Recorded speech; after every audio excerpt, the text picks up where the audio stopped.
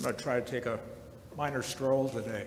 When I first read this gospel, I was thinking the first thing that hit my mind was the idea of abundance.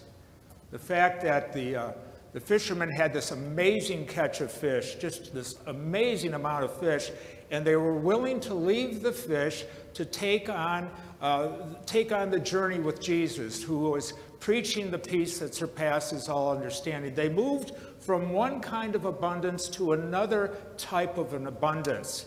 And uh, I was thinking that I think for all of us, as we view our lives in relationship with each other and the world, one of the things we try to kind of sort out as we move forward in time and space is this idea of abundance. Are we living in a life of scarcity or are we living in a life of abundance? Or are we living somewhere in between? But the ability, the ability we have to see life as something that is abundant all around us, we are able then to experience God moving into our lives in a variety of different ways. We redefine the idea of abundance as we take this all in. And that's not to say that's easy. There are times in our lives where it's hard to imagine such abundance. Uh, we may be just suffering from so many things, whether it's health related or mourning the death of a loved one or some other situation that is making it harder and harder for us to see how much life there is around us. But yet, if we open our hearts and minds and listen, we begin to see life unfold in a different way. One of the reasons I love this story is because it does have something to do with fishing. Uh, you see, when I was a kid, uh, we fished a lot. We did not have much money in my household. My, my dad was on medical disability, and our family lost whatever we had through mental and physical health way back in the day when there wasn't the type of insurance there is today. And so my brother-in-laws and my brother had to help the family out, and I did what little I could as a kid. But one of the things we could do, one of the things my dad could do, was still fish. Uh, he needed help, but he could still fish. And so once every other week, I would go fish with my dad. But what I would do the night before, I would uh, go in the kitchen. I would make, uh, uh take some dry mustard and some water and some stuff, and I'd mix this mixture up of mustard, and then I'd wander out into the backyard and I'd get on my hands and knees and I'd be scraping around for little mounds of dirt because if I scrape that dirt off, there's a hole. And I'd take the mustard and I'd pour a little down. And before you know it, worms came out. And I will tell you, I don't know if what worms feel or don't feel, but when they get a touch of mustard, they seem very angry. They are moving around and I try to catch these worms and put them in this tin uh, uh, pail with that nice moist dirt, and I put the, put the worms in, close it up, and uh, catch these worms for tomorrow's fish. And then the next morning, my dad and I would drive out to Walled Lake, and he had a little boat out there. He, he uh, had it docked there. An old childhood friend of his uh, let him keep the boat there, and then uh, we'd fish Walled Lake. Now, I got to tell you, my dad was no Jesus, but when it came to fishing Walled Lake, he sort of was. He knew that lake like the back of his hand. He knew where the fish were. He knew how to catch them. We just used worms. But when we fished, we just catch panfish, bluegill, crappie, rock bass, sunfish, perch, an occasional smallmouth. Once in a while, a catfish. We always let those go because they're too hard to clean. We couldn't figure that out. But we always had, most of the time, a pretty good catch.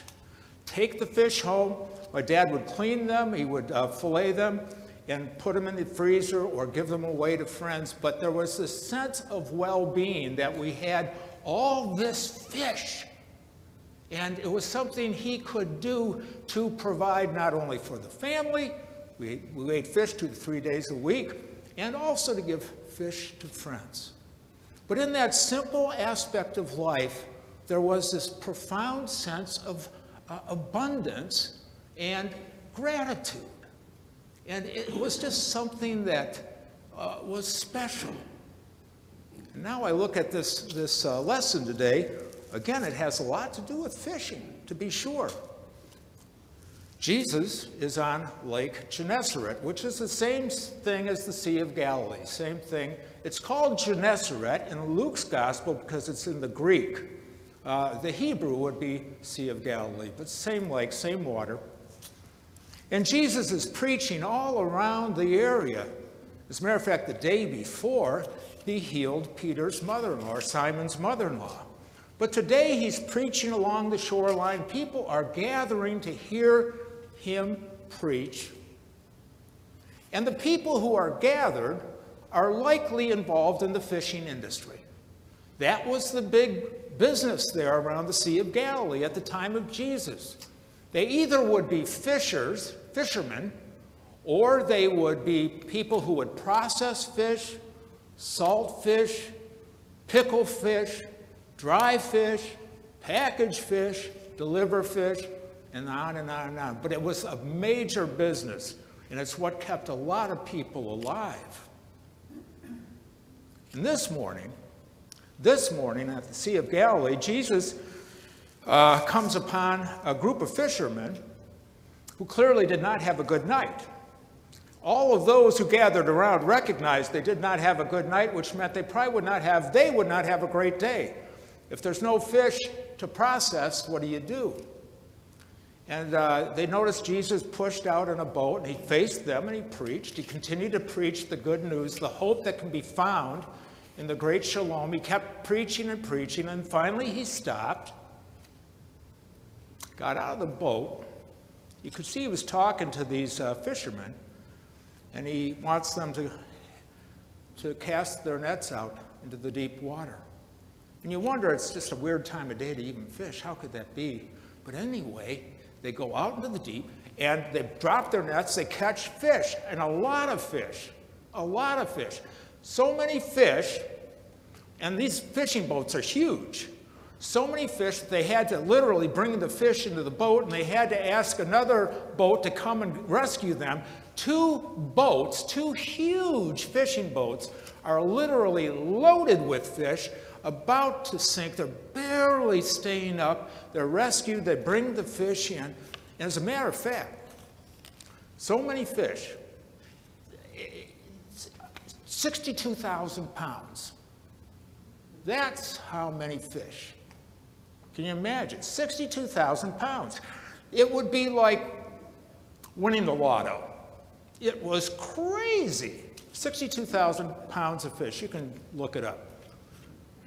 I read it, I didn't actually read the art. There's some scholarly article that engineers and theologians wrote that explained the dimensions of the boat and how this and that and displacement and yada, yada, yada. I just went for the bottom line 62,000 pounds of fish.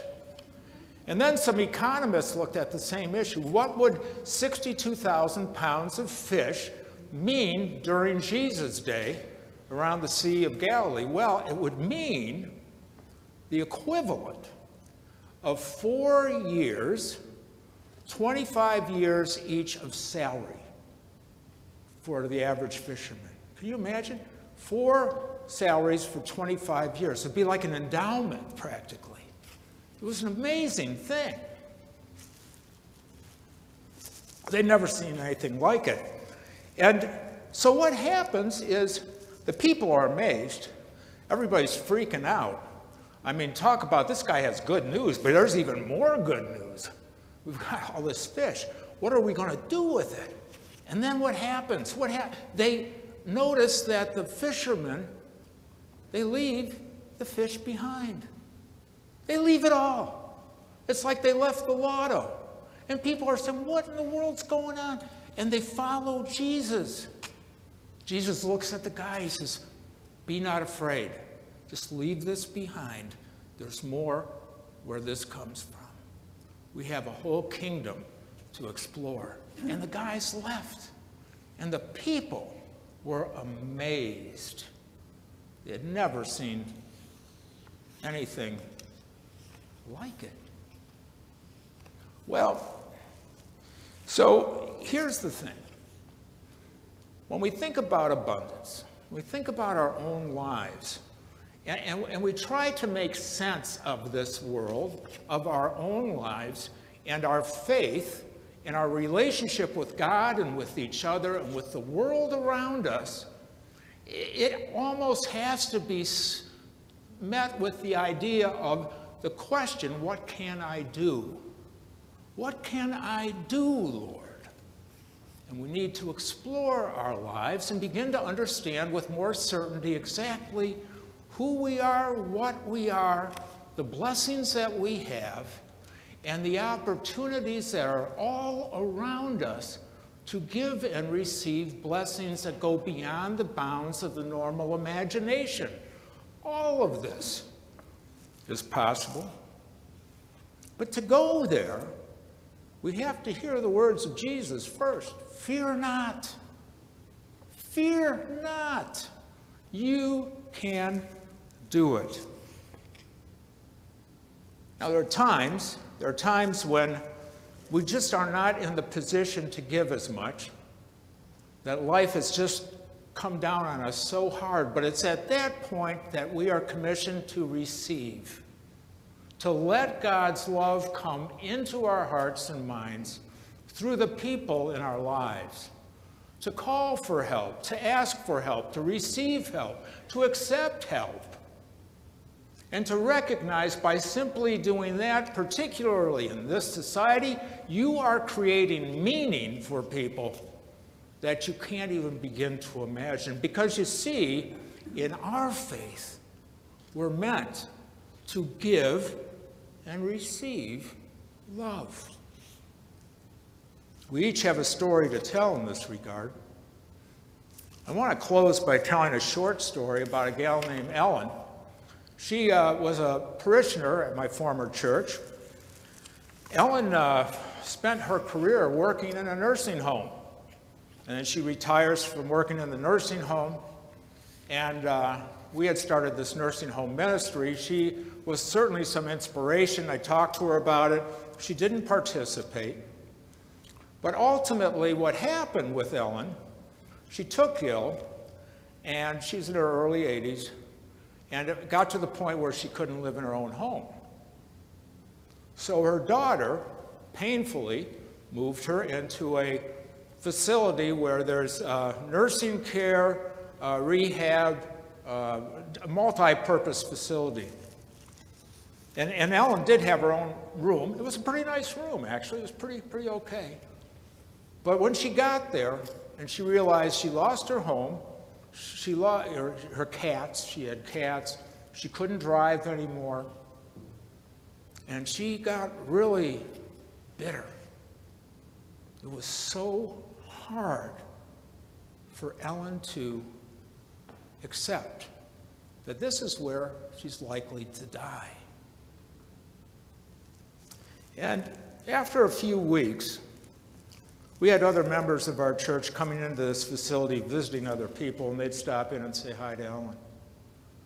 After a few weeks, Ellen, uh, well, I guess she sort of snapped out of it she recognized she knew so much about nursing homes. She knew what it meant to, for people to live in them, for people to work in them. She used her, she got in her wheelchair and she wheeled around the place and she talked to various uh, residents of the nursing home and listened to their stories. But she also talked with the staff and listened to their stories as well because she understood how hard that work was.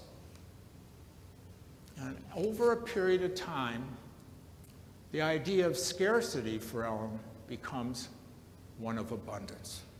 Her life is filled to the brim.